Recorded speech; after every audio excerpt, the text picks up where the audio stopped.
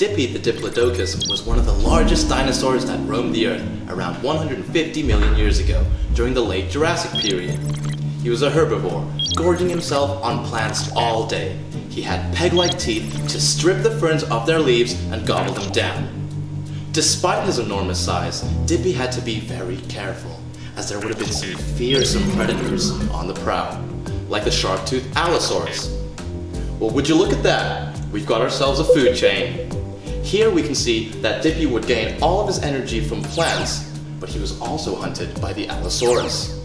However, Dippy did not have all this food to himself. There was a vast array of other dinosaur species that would have coexisted with him, and the Allosaurus was certainly not the only predator he had to worry about. Let's have a closer look at all of the plants and animals that interacted with Dippy millions of years ago. This is much more complex than our simple food chain from earlier. We call this a food web. All we have to do is follow the lines between each species and this tells us who was eating who. Each species plays a very important role on the stability of their ecosystem. But what do I mean by this? Well, we know that dinosaurs went extinct a long time ago, so let's see what happens if we remove a species. First, let's take away the Stegosaurus.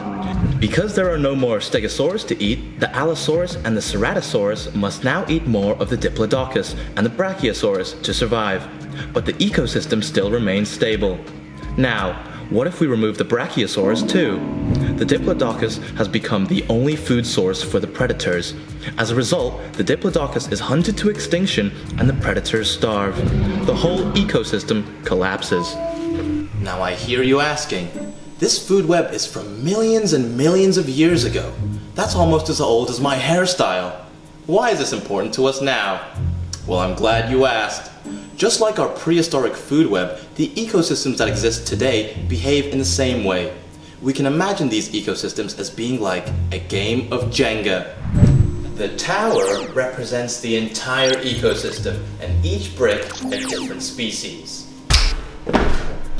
we can pull species out and the tower still stands.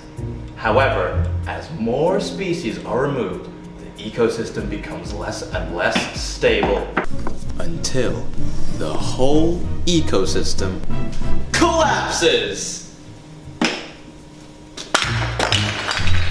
And just like that, the entire wildlife ecosystem has fallen into peril, much like what happened with the dinosaurs. The more we know about how dinosaurs interacted with each other all those years ago, we can gain a better understanding of why these animals went extinct. We can then use this knowledge to help us protect today's animals from extinction. And this is as important as it has ever been.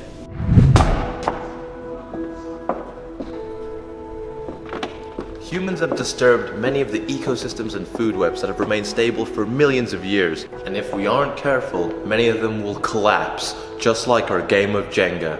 More than 26,500 species are threatened with extinction. This includes 40% of amphibians, 25% of mammals, 31% of sharks and rays, and 14% of birds. We must remember that we, humans, are dependent on the natural world that surrounds us. By damaging them, we are only damaging ourselves, as we are all connected.